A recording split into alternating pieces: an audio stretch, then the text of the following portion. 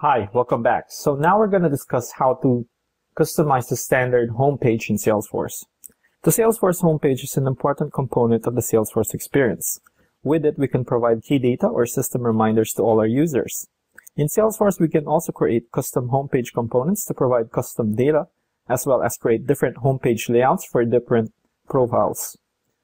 So for this example, we will be performing the following tasks. First off, we'll be creating a custom homepage component that will include links to several web tools our company uses. Next, we will also be creating a custom homepage layout for our salespeople, adding relevant homepage components to this layout as well. Then lastly, we will be assigning our newly created homepage layout to our relevant user profiles.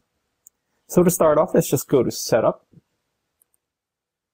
go to Build, Customize, expand on home before going to homepage components. Within this page, we are able to see all standard and custom components available. For standard homepage components, we can click on the actions besides them to customize these standard components further. But for our example, we will be creating a component of our own. So let's click on New under Custom Components. So custom components can be of three kinds. Links, which is a collection of custom links in the system image, which can be a logo or a company badge. And lastly, we can also create an HTML area where we can create a fully customized HTML component. So for example, we will be creating a links component that will host a lookup to our USPS lookup service that we created for our web tab earlier. So let's just click on next. So next we're going to enter the name of our component, which is web tools and our type, which is links. So let's click on next to proceed. Next, we're going to add the links that we're going to show in our custom component. So currently we already have pre-built our USPS lookup link that basically is a link to the page we created earlier. So let's just click on that. Then click on save to finalize our new custom component. So after creating our custom homepage component, we can now start creating our homepage layout. So first let's go to customize, home, and click on homepage layouts. On this homepage layouts page, we can now click on new to create our new homepage layout. Next, let's select the homepage layout that we want to use as the template for our new homepage layout. So let's just select homepage default and the name of our new custom homepage layout, which will be Mojo Home. Let's click on save finalize our layout.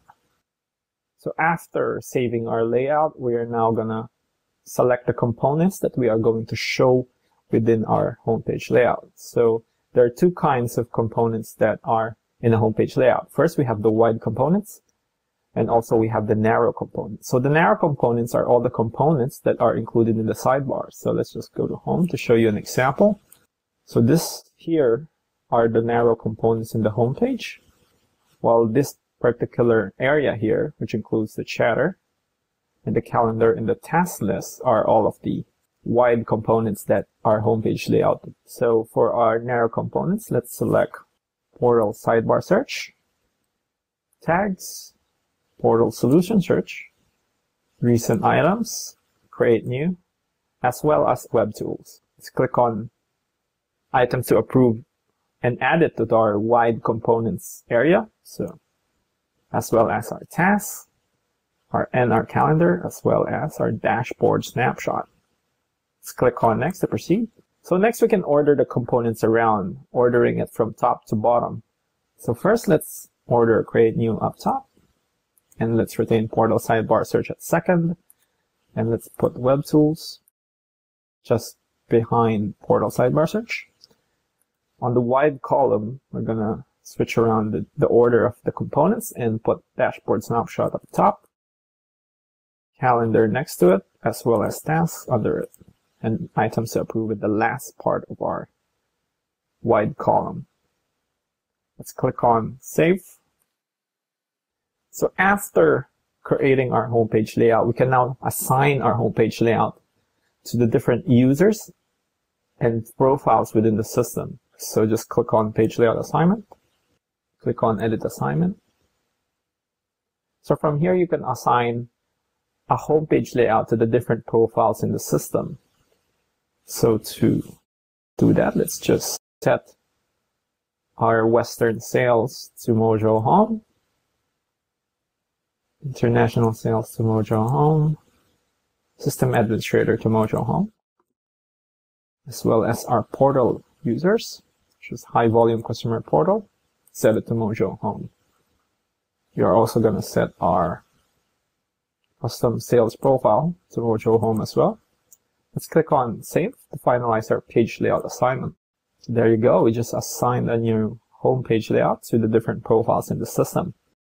So to test this new homepage layout, let's just go to Home. Since I'm a system administrator, I might be seeing a new custom homepage layout.